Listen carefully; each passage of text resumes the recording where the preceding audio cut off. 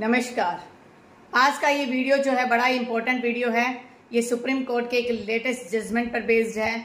आज के समय में चाइल्ड पोर्नोग्राफी एक बड़ी समस्या बन गई है, जिसके कारण बच्चों का अपहरण किया जाता है, उनका तस्करी की जाती है, उनको दूसरे देश में बेचा जाता है सिर्फ़ चाइल्ड पोर्नोग्राफी के लिए। इसका कारण क्या है? इसका कारण ये है कि आज के छोटे छोटे बच्चे बारह तेरह साल के बच्चे टीनेजर्स जो हैं, अभी अडल्ट हुए ही नहीं। वही चाइल्ड पोर्नोग्राफी को देखने में इंटरेस्टेड है। चाइल्ड पोर्नोग्राफी के अलावा वो अदर पोर्नोग्राफी भी देखते हैं। इसका रीजन यही है कि गूगल की साइट पे आप सर्च कीजिए, आपको उस प्रकार के वीडियोस मिल जाते हैं।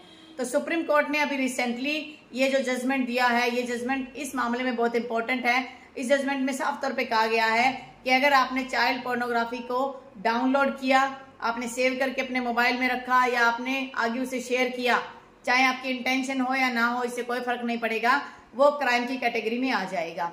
ये जो सुप्रीम कोर्ट का जो जजमेंट आया है, जस्टिस चंद्रचूड़ भी इस जजमेंट का पार्ट रहे हैं तो उन्होंने मद्रास हाई कोर्ट के जजमेंट को सेटिंग असाइड करते हुए कहा है कि अगर इंटेंशन नहीं भी है, अगर उसने अपने मोबाइल में स्टोरेज करके रखा हुआ है, उसको डिलीट भी नहीं किया गया है, और बिना किसी इंटेंशन के अगर शेयर कर दिया है, फिर भी वो इसके लिए लाइबल माना जाएगा।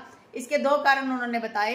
पहला, कि अगर हम इस प्रकार के क्राइम को नहीं शामिल करेंगे क्राइम की कैटेगरी के अंदर इंटेंशन के बिना तो फिर इस चीज़ को बढ़ावा मिलेगा और सोशल जो हमारी रिस्पॉन्सिबिलिटी है, वो खत्म हो जाती है।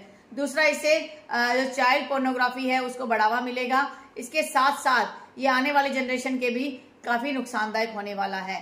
तो सुप्रीम कोर्ट ने क्लियरली कह दिया कि इस केस के अंदर एफआईआर दर्ज होने से पहले उस व्यक्ति ने जो भी चाइल्ड पोर्नोग्राफी के वीडियोस थे, वो डिलीट कर दिए थे। तो सुप्रीम कोर्ट ने क्लियरली कह दिया कि चाहे वो पहले डिलीट कर दिए गए हों, उस व्यक्ति ने डाउनलोड किए थे तो किसी मंशा से किए होंगे, तब तो कोई इंटेंशन रही होगी उसकी।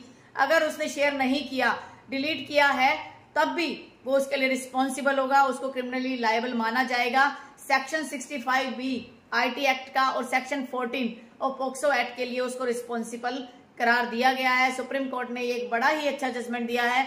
इस जजमेंट से जो चाइल्ड पोर्नोग्राफी को देखते हैं इंटरेस्ट लेकर डाउनलोड करते हैं, उसे शेयर करते हैं, उनके कहीं ना कहीं मन में एक डर हो जाएगा कि अगर आप इस प्रकार की एक्टिविटी करोगे तो आपको आईटी एक्ट के तहत और पॉक्सो एक्ट के तहत आपको सजा हो सकती है। तो कहीं ना कहीं इस प्रकार की अगर नॉलेज सभी को रहेगी तो बच्चों तक भी ये चीज़ें पहुँचती रहेंगी और बच्चे भी कहीं ना कहीं इन चीज़ों से दूर होते चले जाएँगे। मुझे ये सुप्रीम कोर्ट का जजमेंट बहुत ही अच्छा लगा। आपके इस बारे में क्या ओपिनियन है? कमेंट करके ज़रूर बताइएगा। धन्यवाद।